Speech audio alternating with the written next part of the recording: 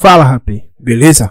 Eu sou o Gaspar. Hoje eu vou falar sobre o episódio que me marcou muito quando eu era criança. Estou falando do episódio Irmã Torcida das Meninas Superpoderosas, de 1998.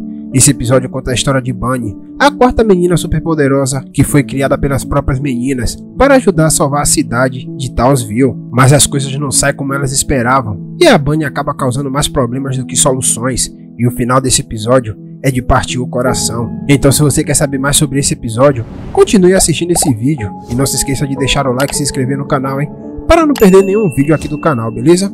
Vamos nessa! O episódio começa mostrando as meninas superpoderosas em ação, lutando contra vários vilões e salvando várias pessoas. Elas estão tão ocupadas que nem tem tempo para descansar ou se divertir. Elas estão exaustas, mas mesmo assim, elas têm que cumprir as suas responsabilidades em casa, como limpar o quarto, lavar a louça, tirar o lixo, fazer a lição de casa, entre outras coisas. É muita coisa para as três meninas superpoderosas, então elas têm uma ideia: criar uma nova menina superpoderosa para ajudá-las nas suas tarefas.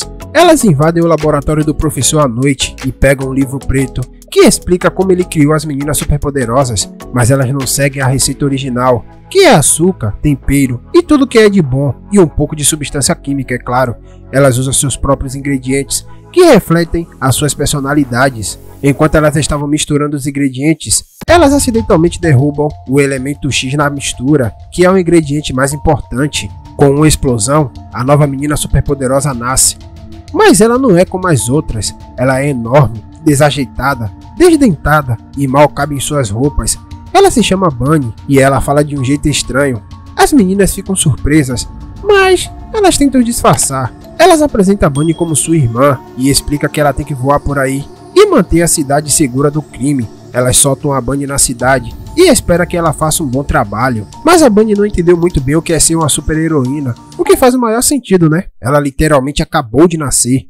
Ela confunde os bandidos com os mocinhos e faz tudo errado. Ela solta os prisioneiros da cadeia e prende os policiais. Ela bate nos bombeiros e salva os incendiários. Ela destrói os prédios e ajuda os ladrões. Ela causa um caos na cidade e as pessoas ficam com medo dela. As meninas viram as notícias na TV e ficam horrorizadas. Elas vão atrás da Bunny e a repreendem. Elas dizem que ela fez tudo errado e que ela ainda não está pronta para ser uma menina superpoderosa. A Bunny fica triste e vai embora. Mas logo depois, as meninas se arrependem do que disseram. Elas percebem que a Bunny só queria ajudar e que ela não sabia o que estava fazendo. Elas percebem que elas foram as irmãs torcida e não a Bunny. Elas chamam pela Bunny e pedem para ela voltar, mas neste momento a Bunny já está longe e não ouve elas. Neste momento, a cidade é atacada por uma gangue de criminosos que escapam da cadeia graças a Bunny. Eles estão armados e querem se vingar das meninas superpoderosas eles começam a bater nas meninas, que caem no chão feridas.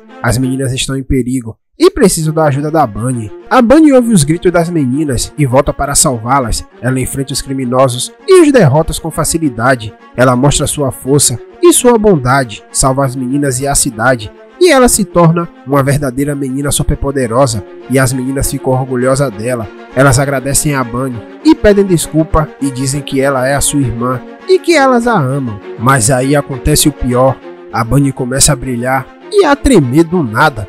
Ela diz que está se sentindo estranha e que algo está errado. Do nada, ela explode e desaparece.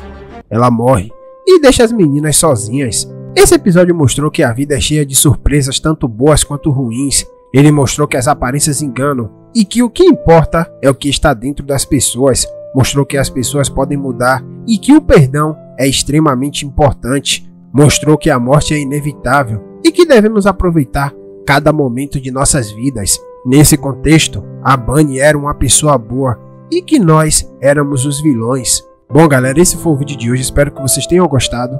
Não se esqueçam de deixar o like e se inscrever no canal, hein? Ative o sininho para não perder nenhuma teoria assim que sair no canal, beleza?